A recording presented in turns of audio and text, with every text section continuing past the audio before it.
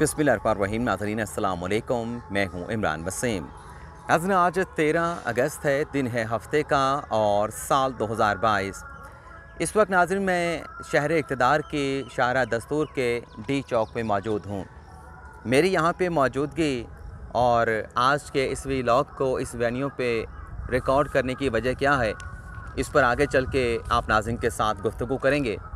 लेकिन नाजरीन इस प्रोग्राम में आपको एक तो हम ये बताएँगे कि सुप्रीम कोर्ट में जो बड़ी तब्दीली होने जा रही है, इस तब्दीली से चंद घंटे पहले अदालत उज़मा के सीनियर प्यूनी जज जस्टिस कादी फ़ायसा की बैरून मुल्क से पाकिस्तान वापसी हुई है। मुल्क की सबसे बड़ी अदालत सुप्रीम कोर्ट ऑफ़ पाकिस्तान में क्या तब्दीली होने जा रही है, एक तो ये तफसीत आप नाजिन के साथ शेयर करेंगे और फिर आपको ये भी बताएँगे कि इस तब्दीली के तनाज़र में किस बड़ी शख्सियत के मुस्तफ़ी होने का इम्कान है? सबक वज़ी अजम और chairman P T I Imran Khan के लिए बुरी खबर क्या है?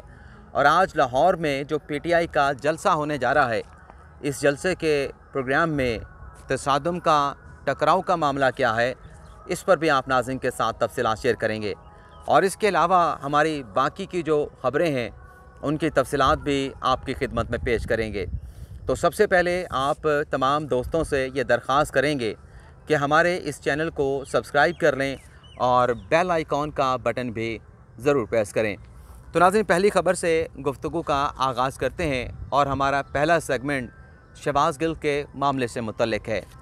एक तो नाजिन डेवलपमेंट ये हुई है कि शहबाज गिल के जो ड्राइवर हैं, इजहार, उनके ससुर ने, ज़फ़र इकबाल ने अपनी गिरफ़्तारी के खदशे की बुनियाद पर आल इस्लामाबाद की मकामी अदालत से रजू किया।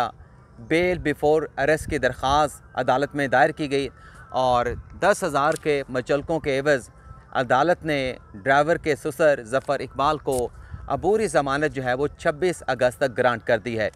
दूसरी नाजिन डेवलपमेंट ये हुई है कि ड्राइवर की जो अहलियाँ हैं, सायरा बानो, जिनकी कल ज़मानत तीस हज़ार के मचलकों के एवज़ एक्सेप्ट कर ली गई थी मंजूर कर ली गई थी। आज ड्राइवर इजहार की जो अहलिया है सायरा बानो, उन्हें अडियाला जेल से रिहा कर दिया गया है।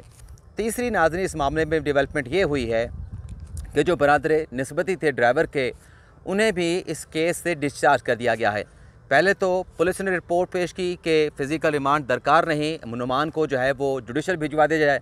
लेकिन नाजरीन, अब यह ख़बर सामने आ रही है कि तहरीक इंसाफ की लीगल टीम के जो रुकन हैं न्याजुल्ला न्याजी, जो कि शहबाज गिल के वकील भी हैं, उनकी जानब से जज अदनान खान से यह दरख्वास्त की गई कि चूँकि तफ्तीश मुकम्मल हो चुकी है और कोई एलिगेशन इस एक्यूज़ के ऊपर, नुमान के ऊपर साबित नहीं हो चुका तो मुनासब ही रहेगा कि इस केस से नुमान को डिस्चार्ज कर दिया जाए। इस इस्तः को एक्सेप्ट करते हुए जज अदनान खान की जानब से नुमान को इस केस से डिस्चार्ज कर दिया गया है। अब दूसरी खबर नाजरीन, वो भी पंजाब के सबक वज़ी अली और इमरान खान के वसीम अक्रम प्लस उस्मान बुजदार की बरीत से मुतलक है। नाजिन हमजा शहबाज शरीफ के दौर हुकूमत में जब वो पंजाब के वज़ी अली थे तो महकमा एंटी करप्शन की जानब से उस्मान बुजदार के ख़िलाफ़ 900 कनाल सरकारी इराजी जाली उसके इंतकाल कराने पर जाल साजी करने के ऊपर जो है वो एंटी करप्शन ने तहकीक़ात का आगाज़ किया था। और आज नाजनी खबर सामने आ रही है कि इस केस में डी जी ख़ान की जो अदालत है, जिनके जज थे नवीद अहमद ख़ान, उनकी जानब से इस केस में उस्मान बुजदार को बरी कर दिया गया है। उस्मान बुजदार को इनोसेंट करार दे दिया गया है और ये फ़ैसला अदालत ने एंटी करप्शन के उस रिपोर्ट के ऊपर सादर किया है, जो आज अदालत में पेश की गई, जिसमें यह कहा गया कि जो इल्ज़ाम लगाए गए थे उस्मान बुजदार पर 900 कनाल सरकारी अराजी की इंतकाल में जेलसाजी के वो तमाम इल्ज़ाम साबित नहीं हो सके। तो एंटी करप्शन की इस रिपोर्ट के ऊपर उस्मान बुजार को आज इस केस से बरी कर दिया गया है। तो इस तरीके से पंजाब में हुकूमत की तब्दीली का जो रिवार्ड है, जो सिला है, आज वसीम अक्रम प्लस सबक वज़ी अली उस्मान बुजार साहब को मिला है। तीसरी नाजिन खबर यह है कि, बल्कि आपको उस खबर में बताते हैं कि वो कौन सा फ़ैसला है जिसको करने में काफ लीग के सदर चौधरी शुजात हुसैन को मुश्किल पेश आ रही है। कल नाजरन, हमजा शबाशिफ ने जो डिप्टी स्पीकर दोस्त मोहम्मद मजारी की रूलिंग के ख़िलाफ़ नजरसानी की दरख्वास्त दायर की थी और 26 जुलाई को सुप्रीम कोर्ट ने फैसला सुनाया था। हमजा शबाशिफ को पंजाब की वजारत अला से फारिग कर दिया गया था। परवेज़ इलाही को पंजाब का वजी डिक्लेयर कर दिया गया था। इस फैसले के खिलाफ नाजरीन, हमजा शबाज शरीफ ने तो गुजशत रोज़ नजरसानी की दरख्वास्त दायर कर दी थी। लेकिन नाजरीन, आज हमने कुछ सोर्सेज से रबता किया और उनसे ये जानने की कोशिश की क्योंकि इस केस में जो काफली के सदर हैं, चौधरी शुजात हुसैन, वो भी मेन स्टेक होल्डर हैं। क्या उनकी जानब से नज़र नजरसानी की दरख्वास्त दायर की जाएगी? तो ज़राए की जानब से हमें यह बताया गया कि फ़िलहाल जो चौधरी शुजात हुसैन हैं, उनकी जानब से अपनी लीगल टीम से जो उनके वकील थे, सलाहुद्दीन अहमद ख़ान, उनसे किसी किस्म का रबता नज़र नजरसानी की दरख्वास्त दायर करने के लिए नहीं किया गया। और साथ ही ज़राए ने नाजिन ये भी कन्फर्म किया है कि डिप्टी स्पीकर, सबक डिप्टी स्पीकर दोस्त मोहम्मद मजारी की जो रूलिंग थी, वो भी इस केस में फ़रीक थे। उनके ख़िलाफ़ भी फैसला आया था। उनकी रूलिंग को गैर आनी गैर कानूनी करार दिया गया था।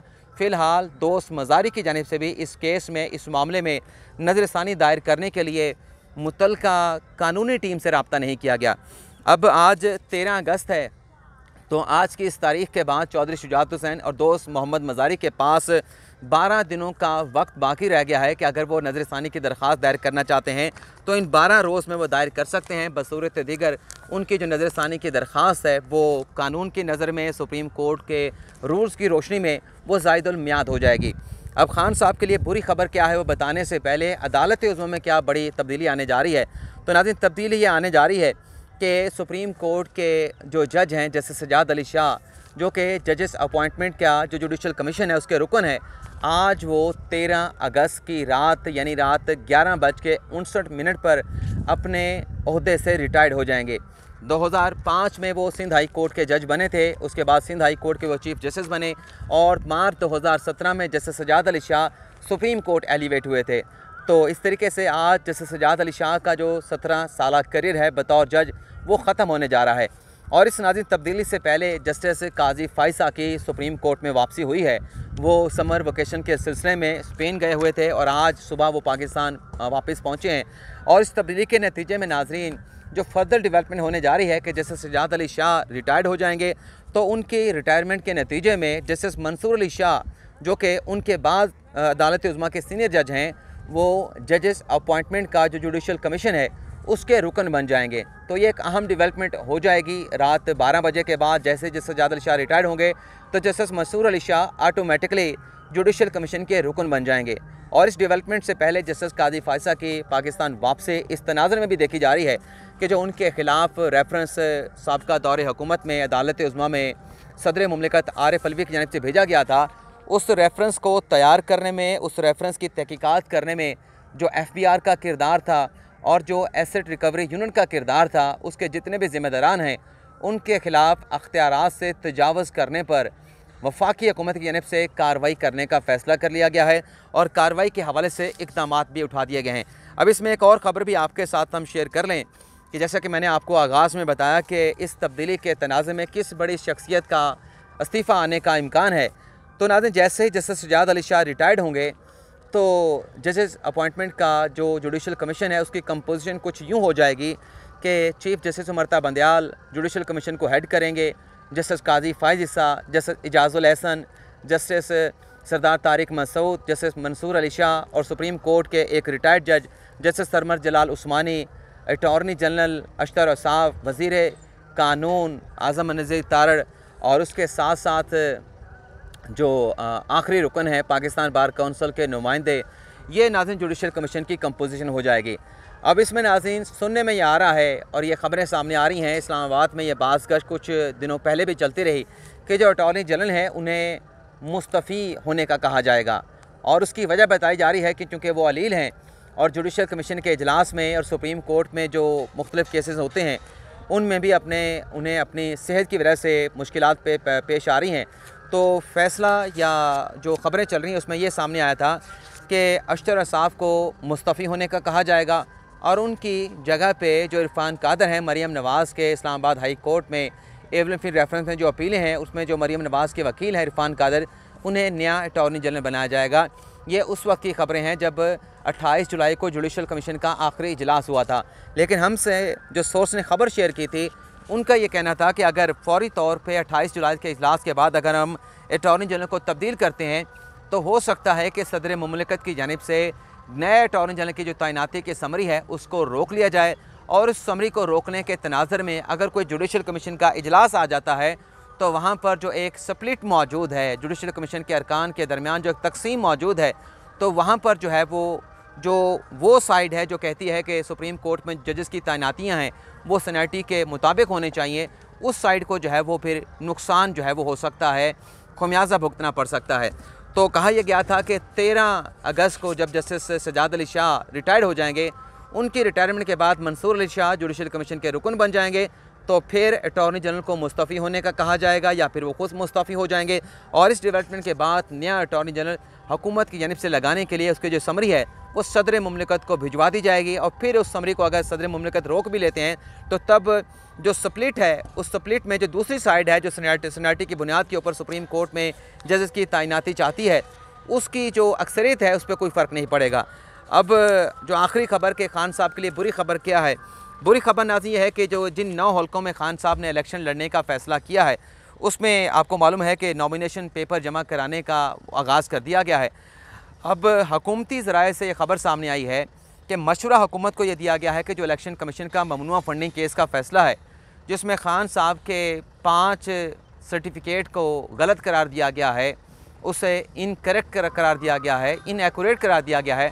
उस सर्टिफिकेट की बुनियाद के ऊपर खान साहब के नॉमिनेशन पेपर रिजेक्ट करवाने के लिए मुतल फोरम से रजू किया जाए। और इस मामले में तोशा खाना का जो रेफरेंस है वो भी साथ में शामिल किया जाए। और आरओ से कहा जाए कि इमरान खान साहब ने अपने नॉमिनेशन पेपर तो जमा करवा दिए हैं लेकिन माजी में वो सादिक और अमीन नहीं रहे। उन्होंने तोहफे हासिल किए तोहफे फ़रोख्त किए लेकिन 2018, 2019, 2019, 2022, 2020 के गोशवारों में उन तोशा खानों से हासिल होने वाली आमदन को अपने गोशवारों में ज़ाहिर नहीं किया था। अब ये मशवरा दिया गया है, इस पर हत में कोई फ़ैसला नहीं किया गया। अब देखते हैं कि नॉमिनेशन पेपर तो खान साहब जमा करवा रहे हैं। फर्दर क्या इन नॉमिनेशन पेपर को चैलेंज किया जाता है, किस बुनियाद पर चैलेंज किया जाता है, ये आने वाले दिनों में पता चल पाएगा। अब लाहौर के प्रोग्राम जो लाहौर का पीटीआई का जलसा होने जा रहा है, उसके प्रोग्राम में तसादम का क्या मामला है, टकराव का क्या मामला है तो ये भी आप नाजिन के साथ शेयर कर लेते हैं। जैसे नाजिम मैं अपने प्रोग्राम के आगाज़ में कहा कि मेरे यहाँ पर मौजूदगी की वजह क्या है? इस प्रोग्राम को यहाँ पर रिकॉर्ड क्यों कर रहा हूँ? तो नाजिम योम आज़ादी के मुनासबत से आज यहाँ पर दस बजे के बाद एक सरकारी, यानी रियासत पाकिस्तान की तकरीब का आगाज़ होने जा रहा है। पाकिस्तान की डायमंड जुबली है और 10 बजे के बाद यहाँ पर सरकारी तकरीबा का आगाज़ हो जाएगा। हकूमती नहीं, सरकारी तकरीबा की बात की जा रही है और वो तकरीबा नाजरीन 12 बजे के बाद भी चलती रहेंगी। और वहाँ पर लाहौर में ख़ान साहब का जलसा उस शुरू हो चुका होगा, तकरीरें शुरू हो चुकी होंगी। तो टकराव इस बात का है, तसादम इस बात का है कि मीडिया का जो फोकस है, क्योंकि रियासत की तकरीब हो रही है, योम पाकिस्तान, डायमंड जुबली की तकरीब हो रही है तो मीडिया का ज़्यादा फोकस जो है, वो इस तकरीब पर रहेगा। इस तकरीब को ज़्यादा जो है मीडिया पे हाईलाइट किया जाएगा, कवरेज दी जाएगी, टाइम दिया जाएगा, और ख़ान साहब का जो जलसा है, वो इस सरकारी योम पाकिस्तान की तकरीब के मुनासबत से, डायमंड जुबली की तकरीब के मुनासब से हो सकता है कि इमरान खान के लाहौर के जलसे को वो एयर टाइम जो है वो मीडिया की जानब से ना दिया जा सके, जो इस सरकारी तकरीब को दिया जाएगा। तो ये नाजन आज का हमारा वीलॉग आपसे इजाज़त चाहते हैं। अल्लाह ताला हम सब का हामी नासर हो। अपनी दुआओं में याद रखिएगा। अल्लाह हाफिज़।